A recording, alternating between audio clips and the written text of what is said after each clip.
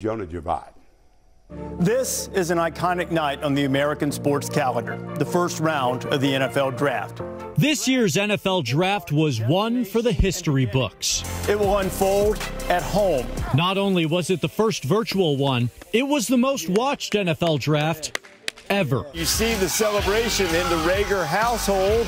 And it was a historic draft for TCU as well. It says a lot about what we've been able to accomplish. For the first time since 1939, two Horned Frogs were drafted in the first round. The Philadelphia Eagles select Jalen Reagor. Star receiver and Waxahachie native Jalen Reagor will now face his hometown Cowboys twice a year. Reagor, touchdown! As a member of the Eagles. The Minnesota Vikings select Jeff Gladney. And cornerback Jeff Gladney figures to play a prominent role for the Vikings. Y'all had uh, two first round picks and three in the top 40, more than any other Texas college or university. How important is that to you?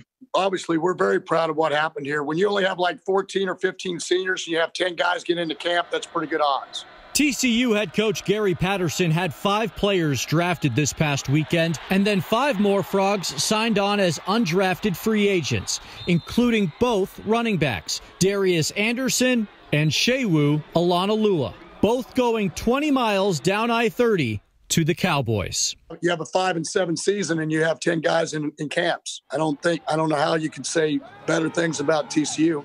Not that it was a five and seven season, but you have 10 guys in camps uh, so people are coming to watch them. A lot of times, people go, "Well, if they were five and seven, they must not have any players," and that is not the case.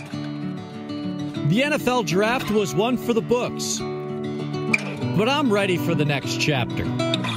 In Dallas, I'm Jonah Javad.